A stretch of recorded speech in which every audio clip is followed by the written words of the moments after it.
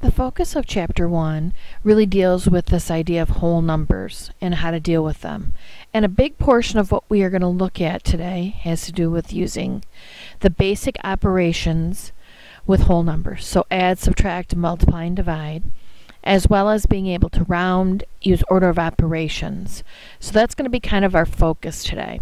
So first of all, you'll notice in the problem that I have here, the adding problems are already lined up. And when we're talking about lined up, we're talking about the fact that there seems to be columns that line up from the right and I can see these columns and things are lined up. Now, if you're someone who has a hard time lining stuff up, this would be a chapter where I would encourage you to go out and get some kind of a notebook or uh, graph paper that you can use on a regular basis. But if I were just going to solve this, I go to the farthest right column and start there. So 9 and 7 together would be 16. So 6, carry your 1. 6 and 2 would be 8, plus 1 would be 9. 9 and 9 would be 18. So I'm going to write down my 8 and I'm going to carry my 1. And then 9 and 9 would be 18 plus that 1 would be 19. Now, uh, several times students will ask me in this section, oh, shouldn't I put a comma in this spot? And my answer is, yes, you can put a comma there. There's nothing wrong with that. Um, commas were really, I think, created to help us keep things lined up and to know that every three place values, there kind of has a change in what things look like. The first three kind of do hundreds, tens, and ones, and then the next three are thousands. Then the next three are millions, then the next three are trillions. So they kind of help us keep things lined up. Please be careful if you choose to use commas because if your font is very small on your computer, if you go to put a comma here, it could actually look like you know, a comma and be a decimal point depending on how small your font is. So please be careful with that. Okay, now subtraction, we do the same kind of thing. You're looking to make sure that things are lined up and they need to stand to start being lined up by this furthest one to the right. So if I go to get this lined up, 8 minus 7 is 1. Then if I go to do 3 minus 1, there isn't enough there to take the 3 away. So this is a borrowing situation. So if I borrow, this 7 is going to become a 6, and that's going to become a 1. Now that 1 on there, it's really important for us to know that that 1 actually means that it's going to stand for 11. So 11 minus 3 is 8 and then 6 minus 4 is 2.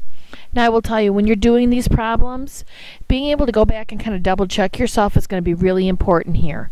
So if I were to double check myself, if I should take these two numbers and add them back together, I should get 718. That's called validation. It's doing the opposite operation to check. And since this is a subtraction problem to begin with, addition would be the way for us to check that. So that means if I were to take my 281 and my 437, I should be able to add these together. And the number here I should get should be the same as the one I started with.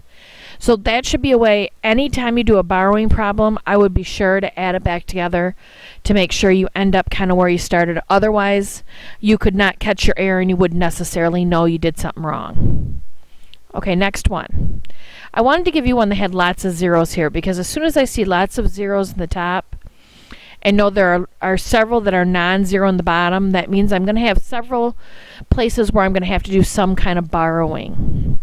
So if I do this, remember how we start with this furthest column to the right, 0 minus 0 is 0. Now that's not necessarily an issue. This is where our problem starts because I don't have anything to take the 2 away from, the 6, or the 4. So really, if I went to borrow, normally I go to the column before, but there's nothing there. There's nothing before this.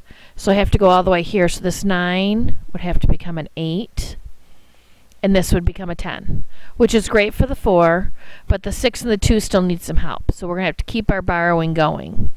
So now this is going to become a 9, and that becomes a 10. That's good. We got the 6 taken care of, but the 2 isn't. So this will become a 9, and this becomes a 10. So 10 minus 2 is 8. 9 minus 6 is 3. 9 minus 4 is 5. And 8 minus 7 is 1. So I have an answer of 1, or 15,380. Now remember, if this is borrowing, which this one was, then I would go off on the side and make sure if I take the answer that I got and what I subtracted, and if I add those together, I should end up with that 90,000. If I don't, I need to go back to my problem, figure out what I did wrong, so I can fix it. But these two should match when you're done. If they don't, go back and figure out what you did wrong. A lot of times it's not borrowing correctly, so keep that in mind. Okay, now in multiplying. In these problems, we start out multiplying. Notice everything's lined up all the way to the right. The digit, the second number here has the least amount of digits to it. This one has two digits and this one has three. Our normal mode of operation here is that this should have the least amount of digits if you're going to multiply by it. Or they should at least be equal at the very least. So when I start here, this starts with the 6 multiplying by everything that's up there. So if I do this, 6 times 9 is 54, so 4 carry your 5. 6 times 6 is 36, plus that 5 would be 41. So 1, carry your 4. 6 times 6 is 36, plus that 4 would be 40. Now, some people really have a hard time once they go through and they have a two-digit number here. So this 6 we got to multiply by everything. Once you're done, I would get rid of these things that you had as carryover. It's very common for people to accidentally use them again even if they don't mean to, which will kind of be a problem. Now we're going to start with the 6 here and we're going to multiply it by everything that's up here. So first of all, this 6 that we're using is a digit over. So don't forget to add your 0 as a placeholder. 6 times 9 is 54. So 4, carry your 5. 6 times 6 is 36. Plus that 5 is 41. So 1, carry your 4. 6 times 6 is 36. Plus 4 would be 40. Now again, we've talked a lot about lining stuff up. This will be the kiss of death in this section if you don't keep your stuff lined up. So make sure you actually have columns here that you can see pretty easily to add together. So 4 and 0 is 4. 1 and 4 is 5. 0 and 1 is 1. 4 and 0 is 4. And then this 4. So our answer is going to be 44,154. Okay, next one. Now we're going to get into dividing. And some people really have a hard time remembering how to do these, so I want to give you a little clue. Inside out. Um, I, first of all, any number that appears here in front of the division sign is going to be considered an inside number. The number that comes after it is going to be considered an outside number. And really that inside or outside has to do with this division bar. So 297 and this is 53. So the inside out tells you that this number goes in the inside here and this one goes in the outside. So to begin to, to go through and actually divide this, I have to think about how many times can 53 go into 297 without going over. So the closest that I can get on this one, I think, is 5. So let's see, 53 times 5 is 265. That's probably as close as I can get without going over. So if I put 265 underneath this,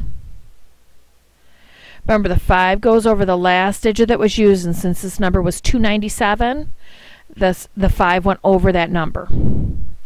When I go to subtract this, I have 32 left over. Now remember, our leftover here has to be smaller than what we divided by. So 32 is smaller than 53, so that's good. But normally when you see these answers, when you go to put them in Blackboard, you're going to see a box, then the letter R in the box. That R stands for remainder. So our remainder in this problem was actually 32.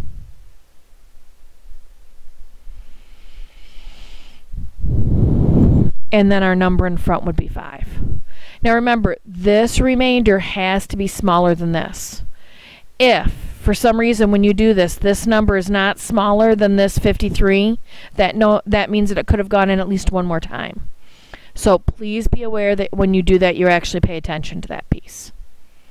Okay, let's try the next one. Now this division problem is already set up for us. If I would have saw this in our page like the last one, it would have had to have looked like this. Now, a big part of this one is that I want to see how many times 26 is going to go into this. So I'm actually going to go through and set up this problem a little differently. Because there's a lot going on here, and it's much easier to look at kind of a digit at a time. So first of all, 26 does not go into 6, so I'm going to put a 0 there. 26 would go into 63, I would say twice. Let's see.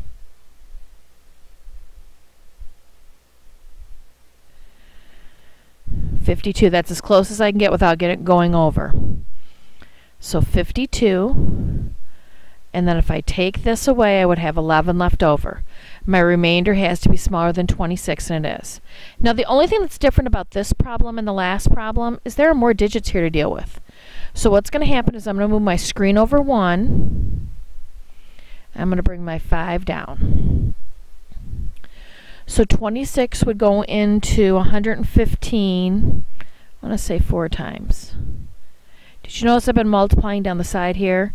That's a really good technique to make sure that you're getting all your stuff together. You might need to use these again. So to have them all in one place and all your stuff together is going to be a good organizational tool. Now 104 is probably as close as I'm going to get without going over that. So that means it goes in there four times. 104. And if I subtract, I will have 11 left over. Again, my remainder is smaller than the number I divided in by. Okay, last one. I say last one because I only have a 7 left to bring down. There's nothing else left in this corner spot. So 26 will go into 117 four times. It's still not going to be able to go in any more than it did the last time. This time I will have 13 left over. Again, 13 is smaller than 26. That's good. So when I go to fill in my things, remember how you'll have the two boxes here with your R for remainder in between. So if I look at this, my remainder was 13 down here. That's your remainder box. This number up here, this 244 is going to go here. So when you set this up, remember this number up here is going to be the one that goes in this box.